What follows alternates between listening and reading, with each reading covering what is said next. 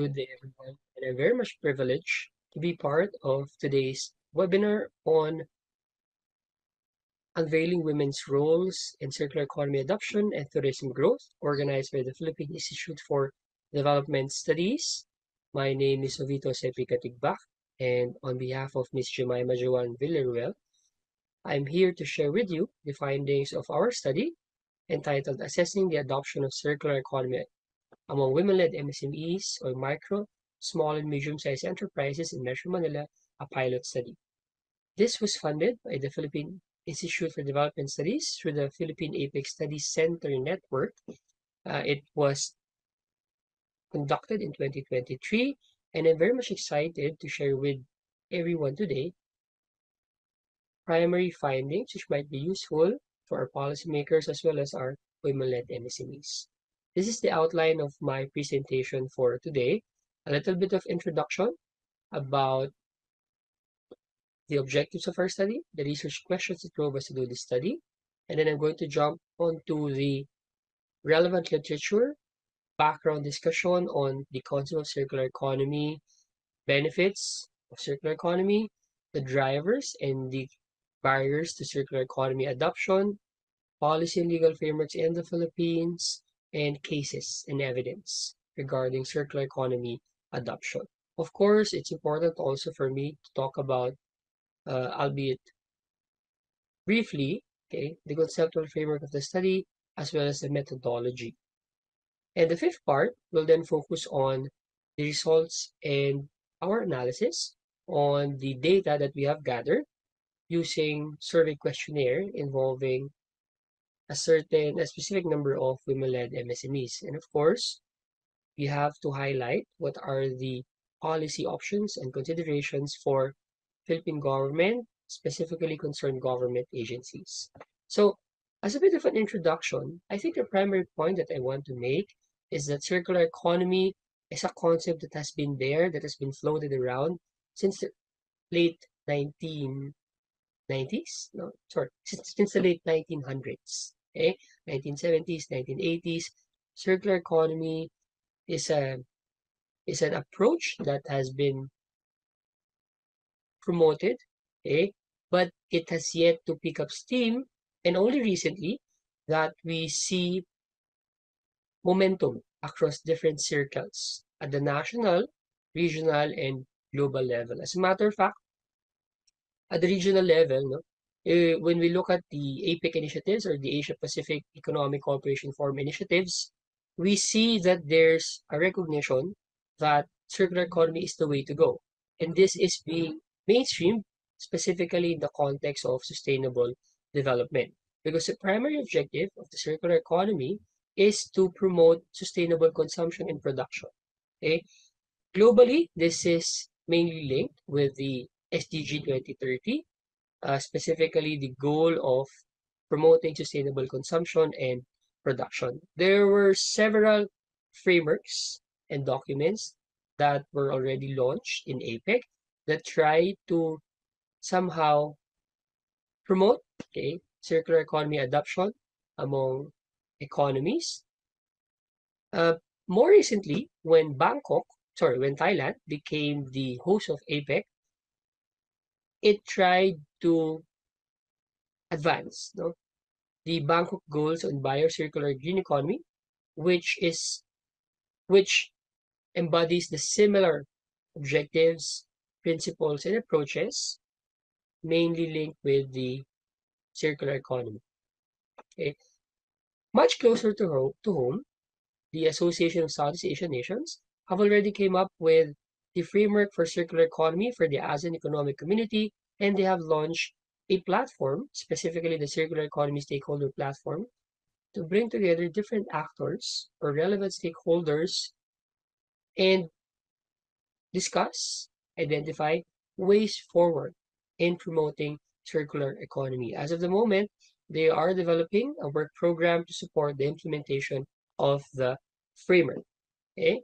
At the local level, circular economy is something that the current administration, meaning the Marcos Jr. administration, is attempting to mainstream okay, mainly because Philippine or the Philippines produces at least 61,000 million metric tons of waste daily, eh, on a daily basis, with plastic waste comprising around 24% of that figure. Okay?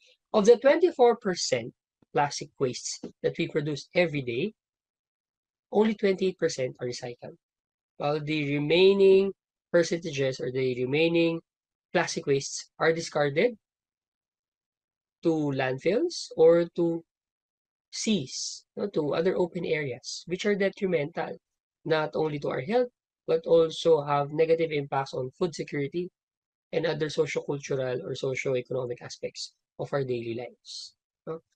Now, if you look at the economic structure of the Philippines, majority of the businesses are micro, small, and medium-sized enterprises. As a matter of fact, they comprise 99.5% of all businesses in the Philippines, which means that if you want to really address okay, the mitigation of plastic waste, you need to substantially involve or secure the buy-in and participation of micro, small, and medium-sized enterprises.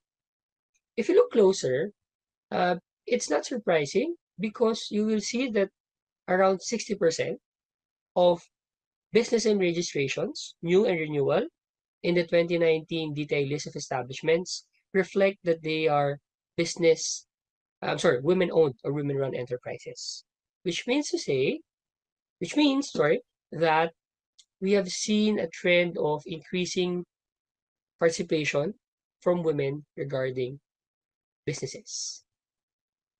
Now, when you combine them all together, it basically led us to create or draft this question, no? Which is, how has women-led MSMEs in Metro Manila adopted circular economy into their operations and practices? The specific questions that we tried to answer was, of course, number one, what is circular economy? There have been there have been various definitions of circular economy, but in the Philippine context, we have identified our own in one of the pending bills okay, in our Congress. And then we proceed to the next question, sub-question, which is what are the related laws, policies, and frameworks in the Philippines? And this is important because it can help us gauge where we're at, what are we doing, and who drives the agenda and the momentum towards circular economy adoption. Of course, uh, the main contribution of this study is coming up with or identifying themes, experiences of women-led MSMEs in adopting circular economy. Another important contribution of this study is, of course, identifying what are the policy options and recommendations that the Philippine government may consider in further advancing circular economy adoption among women-led MSMEs in Metro Manila and hopefully nationwide. If you look at the objectives, this basically uh, mirror okay, our research questions. Let us now proceed to the concept of circular economy. Circular economy is, as I mentioned, is something that was not invented in the 21st century. It, it, it was something of, uh, it was born of the idea that the earth is basically a closed economic system. Meaning, whatever we do economically, we cannot separate it from processes of biological processes.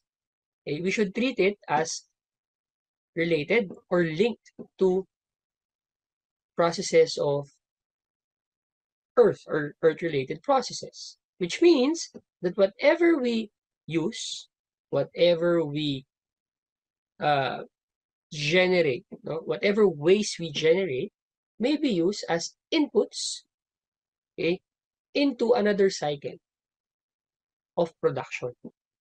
And that is where circular economy becomes relevant. Because circular economy, according to Sahel, no, is a spiral loop system that tries to or that attempts to minimize matter, energy flow, and environmental deterioration without restricting economic growth or social and technical progress. So basically, it echoes the principles of sustainable development, but the focus is on reuse, repair, reconditioning, and recycling of products, goods, or commodities.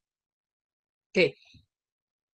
If you look at the policy and legal landscape, there's actually a lot of projects, programs, policies, and activities that we are doing or we have done no, in, in the Philippine context. But in terms of the overarching framework, we have the Philippine Action Plan for Sustainable Consumption Production. And this is overseen by NEDA. This is anchored on our AmBisyon Natin 2040. No? And uh, the goal is to entice more Filipinos to produce and consume green goods and services to accelerate the shift towards sustainable and climate smart practices and lifestyles. Okay? Uh, it has it also identified four action notes, specifically policy and regulation, research and development, innovation and technology, infrastructure, promotion, and education. When you read our study, no, I hope you have the time, we have actually grouped the different initiatives in at least uh, six, okay, six uh, categories. We, we call them policy intervention no, areas. And it's encouraging because when we did a scan, no, uh, uh, an environmental scan of the different uh, initiatives relating to circular economy in the Philippines, it's not something that is within the scope of the government. As a matter of fact, civil society organizations, private sector, uh, and even development partners have participated in the promotion of CE. Okay? This is the conceptual framework of our study, but I'll, I'll skip this because uh, in the interest of time, and you can review this in our uh, in our uh, paper that is accessible online. No? Methodologies, we, we employ the mixed methods approach. We gather data from women-led MSMEs. We ask them several questions.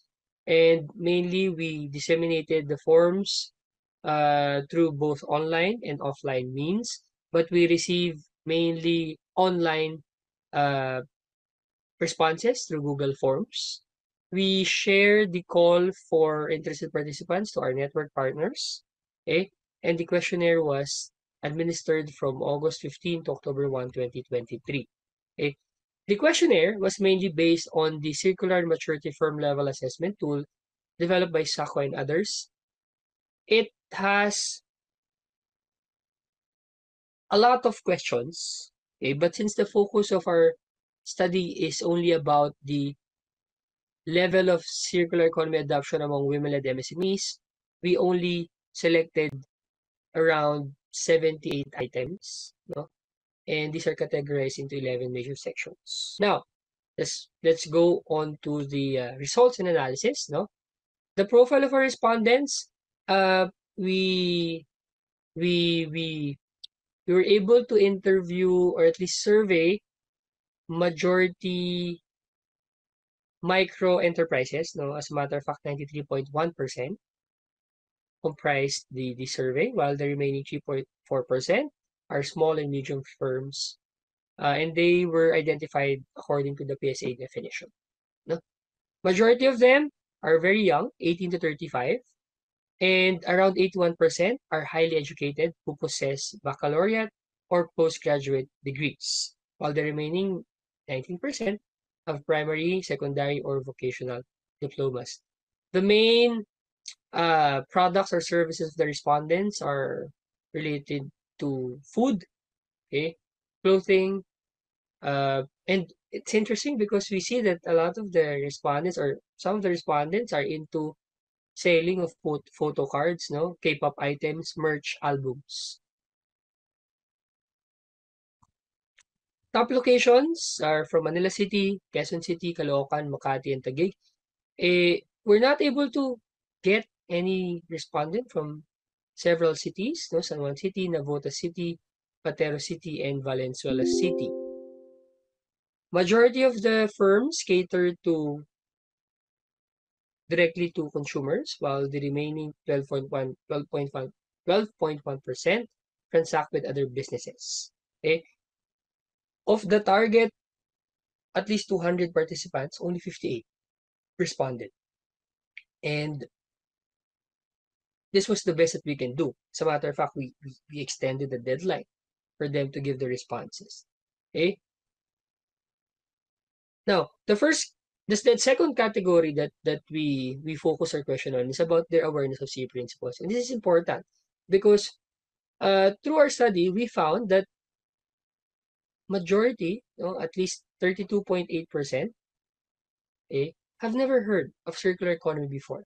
They have no idea of what it is, and they have no intent of knowing what it is. Okay? 36.2% have said that, you know, we have a bit basic understanding, but we would like to learn more. Okay, we'd like to learn more. However, no, 22.4% said that I've heard of it being thrown around, but, but I don't really understand it. No? I don't have, I, I don't uh, really understand it. Only around 9% have the ability to explain it in detail, no? And possibly share it with their other with, with, with their, their colleagues. No? When we ask them about their challenges in terms of uh, circular economy adoption, the, the answers reflect the existing literature. No? In, in, in, in, in this case, in uh, women-led MSMEs in Metro Manila, the primary challenge to circular economy adoption is their lack of knowledge and awareness, limited financial resources, and the lack of government support and policies. No? There's also lack of access to relevant networks and partnerships.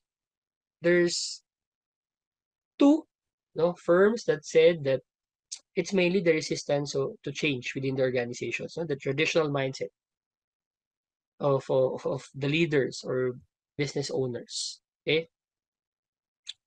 Internally, no, just to add on to the discussion, 70.7% confirmed that they have not conducted any assessment or evaluation to identify potential application of circular economy, while uh, 10.3% intend to undertake an assessment soon.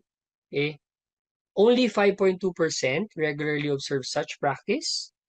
And the, the analysis is that this is mainly shaped by the low level of familiarity concerning the potential benefits of circular economy adoption. Okay? When we asked them, what about customer consumer demand? No, 44.8% said there's no demand. So we don't need to adopt it.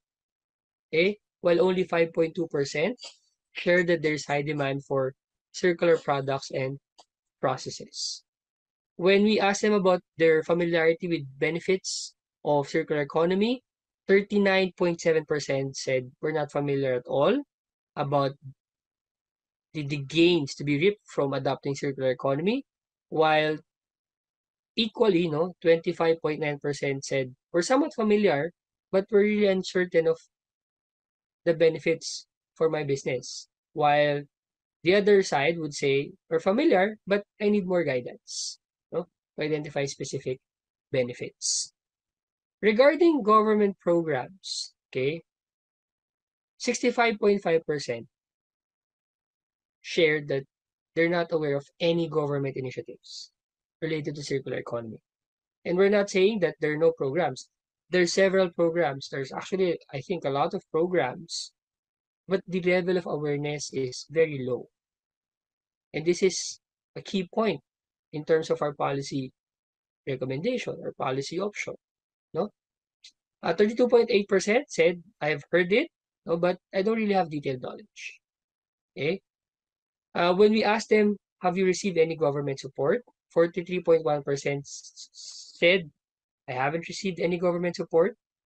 And 27.6% said, government guidance is poor. Okay?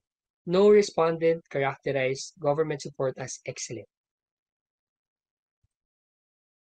In terms of the level of circularity no, or the actual adoption of circular economy uh, principles and practices, 39.7% said the, the, the principles related to circular economy doesn't actually align with their business strategy and vision.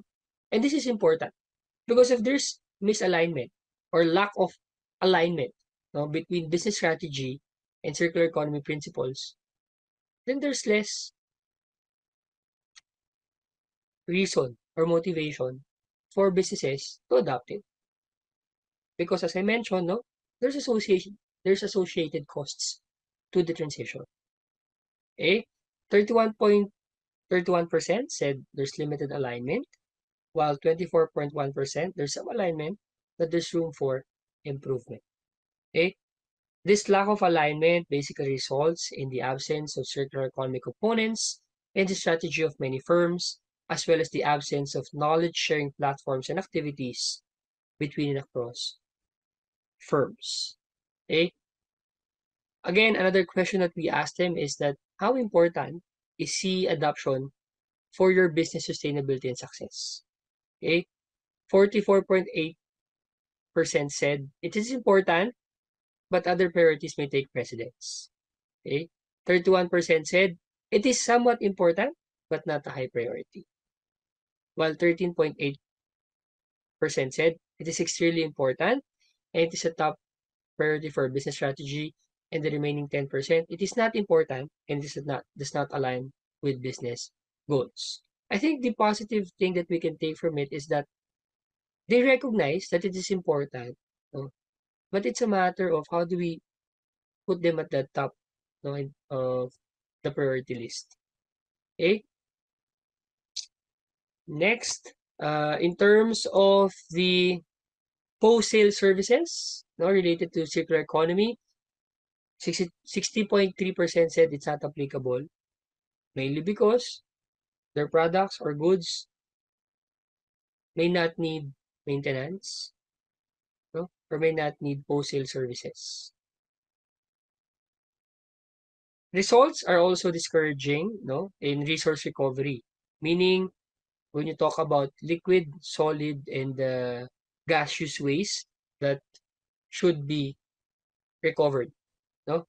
And 92.3% of the respondents directly dispose their liquid uh, waste 90.4% discard their gaseous waste, and 75.8% dispose their solid waste. Meaning, majority of the wastes are not put back into the production cycle, which means it's a linear approach. It's not a circular approach.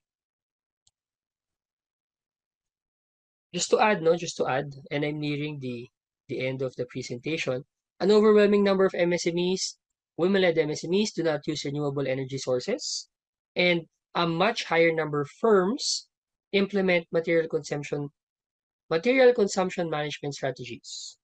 Around 69.3% is somewhat aware with local recycling and waste management facilities. Okay? And majority of the women-led MSMEs that we surveyed, specifically 67.2%, have little to no knowledge experience or application of eco-design, circular design practices. As I mentioned, existing literature have shared or have, have uh, posited that if you really want businesses to adopt eco-design, it should come from consumer demand. It should be driven by consumers. And there's less of it in the Philippine context. Okay? 91.4% also revealed that they are neither familiar nor have patents related to circular economy. Okay. Another category of our survey uh, pertain to partnerships and collaborations. Okay. And when we asked them, majority said, 87.3% were not involved in any industrial cluster. Okay. 9.1% said we're not familiar, and the remaining Yes, we're part, of. but it's very, very, it's a very small number. Okay. Majority are also not active in collaborating with external partners because they claim that companies still operate in silos. Okay. Now, to conclude our presentation, we have seen that there's a lot of existing initiatives, okay, but they tend to be piecemeal, ad hoc, reactive to the flavor of the times. The current pronouncement of uh, President Ferdinand Marcos Jr. himself in, in uh, during his 2023 State of the Nation address raises optimism that we're nearing or we're, we're nearing the, the possible formulation and adoption of a circular economy national framework because even the Philippine Development Plan cites a promotion of circular economy as essential in achieving improved environmental quality uh, under the strategy framework to establish livable communities. No? Of course, the DENR and NEDA will play important roles, but the private sector, external partners, and civil society organizations should also contribute to mainstreaming circular economy to their various policy interventions. Nevertheless, our study found that there is still low level of awareness regarding circular economy principles among women-led MSMEs in Metro Manila. This low level of awareness translates to low level of circularity uh, across various areas, which I just discussed uh, a while ago.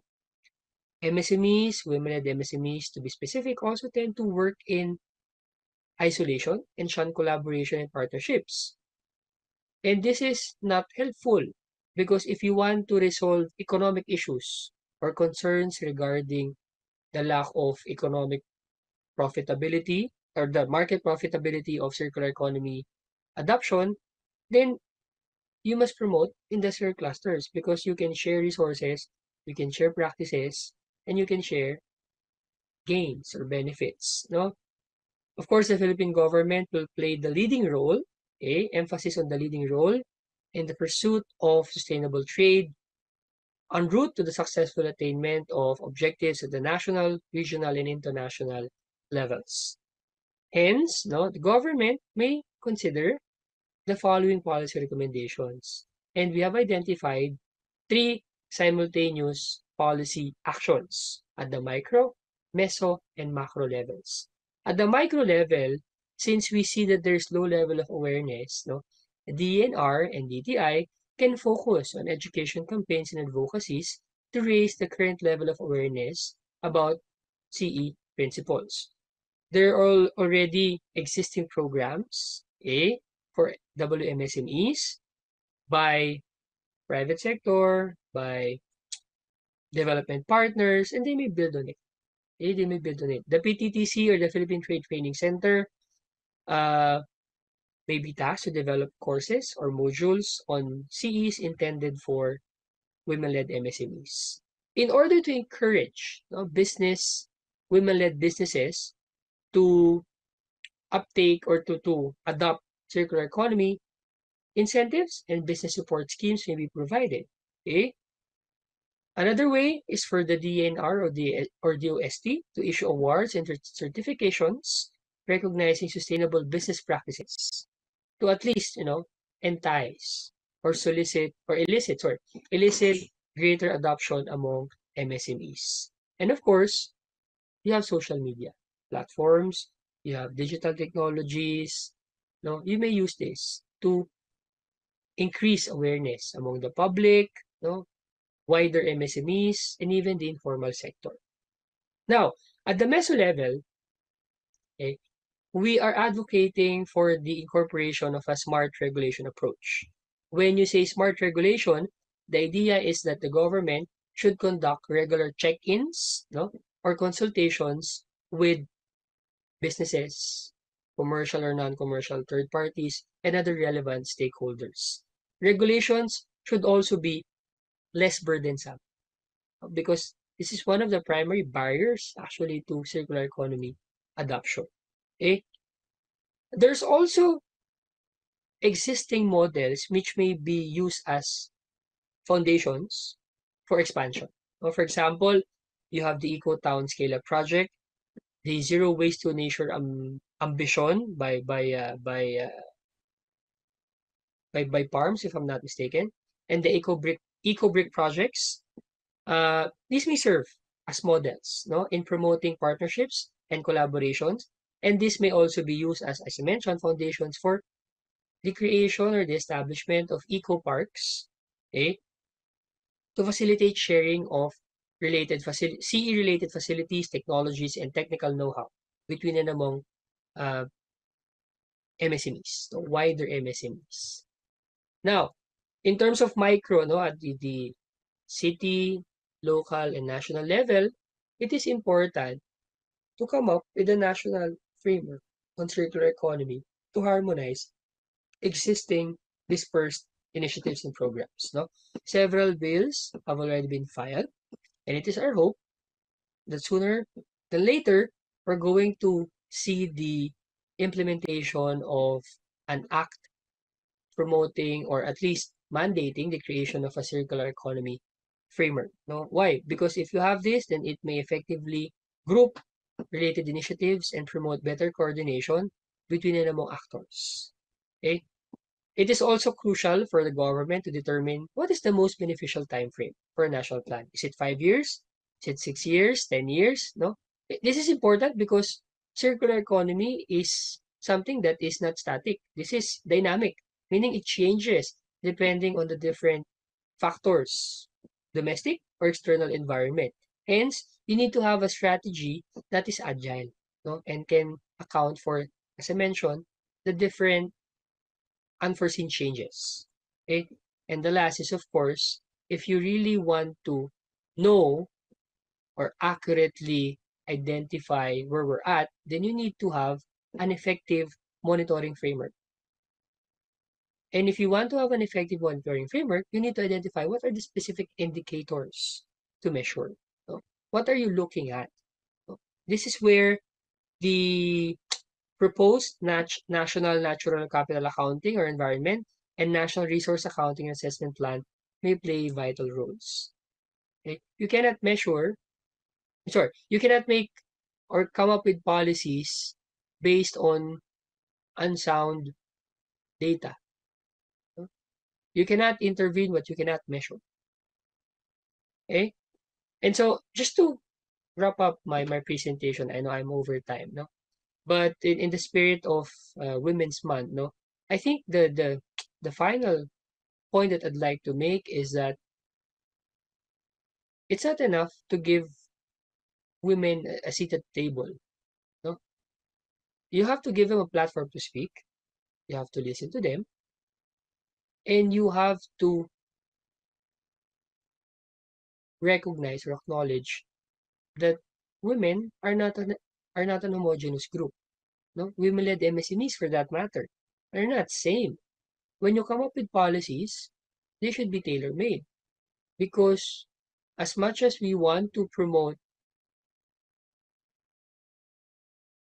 women's development across all levels of society or across all industries, we have to keep in mind that they have different challenges, they have different conditions.